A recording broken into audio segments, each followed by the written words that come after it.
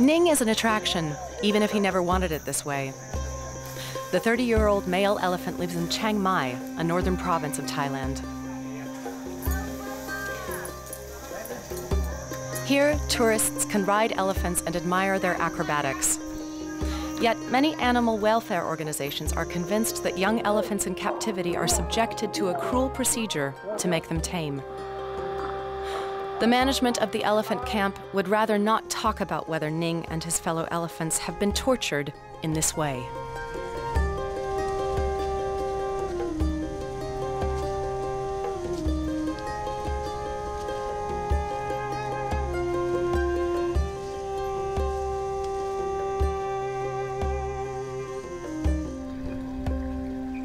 It's early in the morning, just after 7 o'clock.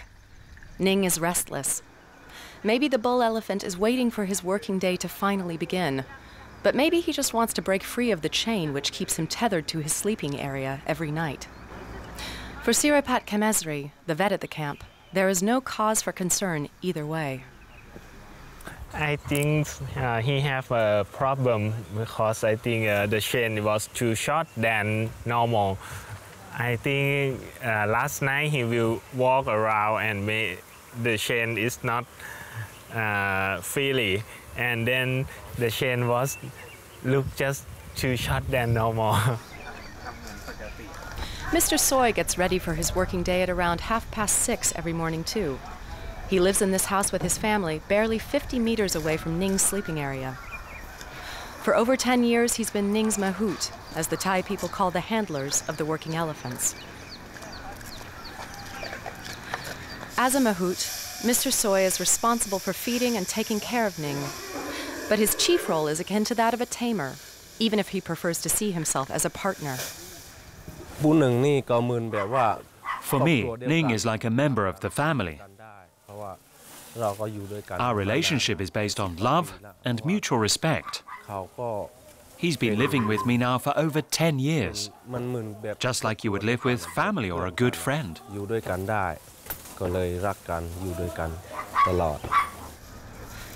Nueng's day begins with a decent breakfast. An adult elephant eats about 200 kilos of food per day, preferably grass and leaves. While Nueng is eating, Mr. Soy takes care of Nueng's business from the previous night. He then finally frees the elephant from his twisted shackle. But even during the day, it's a life in chains for all of the 79 elephants in the camp. Nueng is obviously used to the routine. Nueng does not like being rushed in the early morning.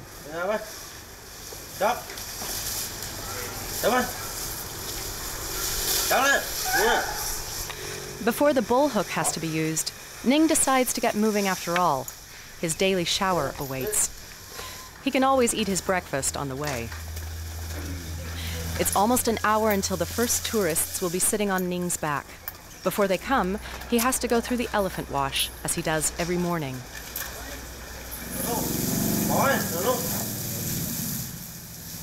Only a few commands are required for his morning grooming. Nueng and Mr. Soy are a close knit team.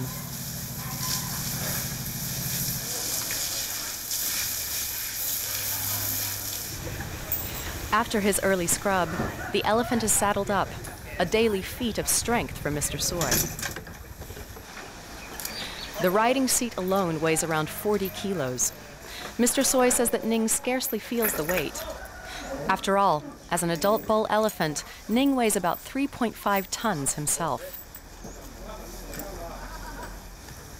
While Nueng and Mr. Soy are making their way to the start of the ride, the first guests are eagerly waiting. As is mostly the case, the visitors are nearly all Chinese. Most Western tour operators have long since removed traditional camps like this one from their catalogs, as many animal welfarists in Europe or the USA consider riding or parading the elephants as cruelty to animals. The camp's marketing officer sees no fault with the traditional concept. He said that okay to do like this. we do provide the culture way, the way of life about Thai people and elephant. What, how do they? How do we live with the people? We demonstrate the people from the outside how to ride on the elephant. How the people use the elephant in the past. In the past, we, we go on the elephant. We use the elephant as transporta transportation. Until deforestation was banned in 1989, elephants in Thailand were also used in forestry. Now they only stack heavy logs to entertain tourists.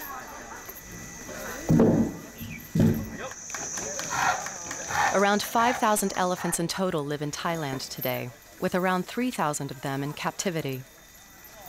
Nina Orthman Brask is a Danish biologist. She advises elephant camps on how to combine tourism better with animal welfare. She thinks that in a perfect world, elephants would be free, not held in captivity. But the reality is a different one in Thailand. Now it's about maintaining certain basic standards, at least. Good welfare can easily be done uh, in a riding camp if you provide the elephant with shade, enough food, enough water, enough rest, and, and otherwise free from discomfort also. Nueng, whose name means number one in the Thai language, is the star among the elephants in the camp. He has the longest tusks of all the elephants. The camp has been his home for over 20 years. Prior to that, he lived in a mountain village on the border to Myanmar as a working animal. Nueng has never known a life in the wild, and he knows what the guests expect of him.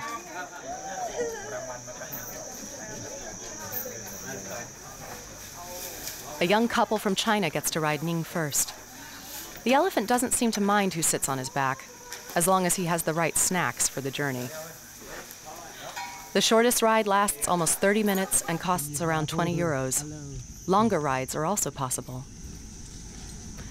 Nueng knows the route by heart. In a normal day, he gives five rides. The visitors are usually thrilled. It was pretty wobbly at the beginning, but then it's a pretty good feeling.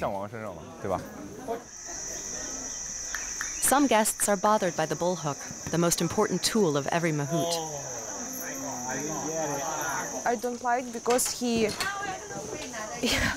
he take the stick. I don't like. I like only touch. But the camp manager tells us that in some situations, it takes more than the soft touch to control the elephants. No hook and no chain. In some emergency case, I think it's too dangerous because elephants are the big animals. Imagine when you walk with the dog, some days you need to have leash, right?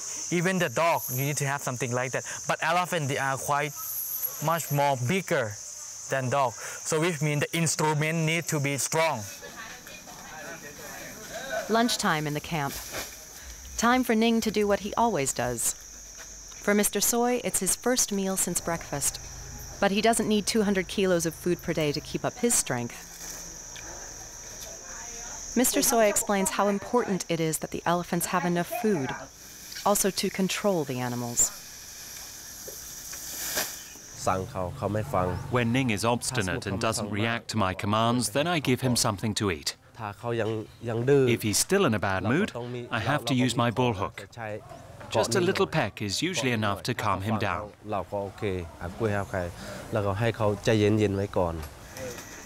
Nina Orthman Brask tells us that a lack of transparency constantly impedes her work. In particular, the camp management refuses to talk to her about the training of young elephants. Historically, they have used uh, a very brutal way of training the young elephants to make them listen to their mahouts. Uh, and actually, due to this very brutal training method, uh, that is now what is deterring many tourists from uh, going into the more traditional camps because it is a firm belief that all elephants that do rides, that do shows, that do any sort of entertainment for guests and tourists uh, can only do so because they have been through this brutal training method. Videos are available on the internet showing the cruelty involving breaking in the elephants, as it is called. It is not known exactly where and when these films were made. The brutal procedure can take up to a month. The animal is only freed once it stops fighting back. This method was practiced for centuries in the entire region. Today, there are laws against cruelty to animals in Thailand, but if no one complains, it seems not to be an issue.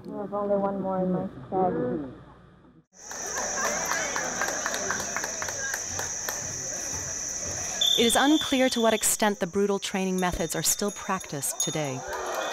The vet at the camp remains vague when asked about the issue. In our camp, we, we try to use the combination of uh, positive and negative reinforcement. Uh, Sometimes they don't know about the negative reinforcement, what it be. Uh, for the negative reinforcement, it's just like we, we add some pressure to them and when elephant do the right thing, we remove the pressure out. A lot of people they, they think negative is only hit, hit, hit, hit, but in, in fact it's not that. A nice long drink at the end of the day. After a good seven hours with the riding seat on his back, Nueng's working day is over. So just Mr. Soy has to work hard.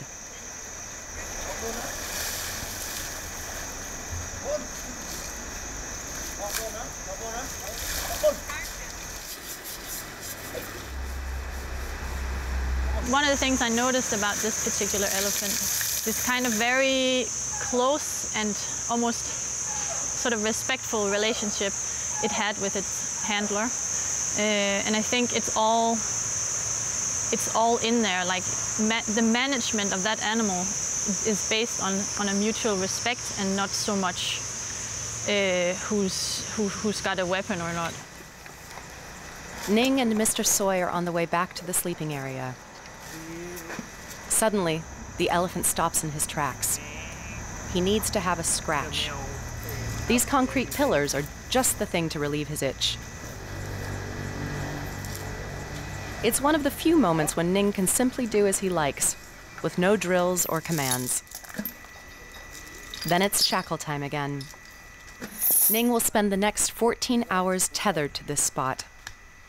Later on, Mr. Soy will bring him fresh food.